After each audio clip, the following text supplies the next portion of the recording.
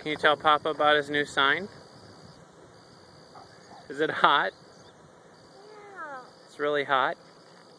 Well, why don't you just say hi to Papa then? Hi, Papa.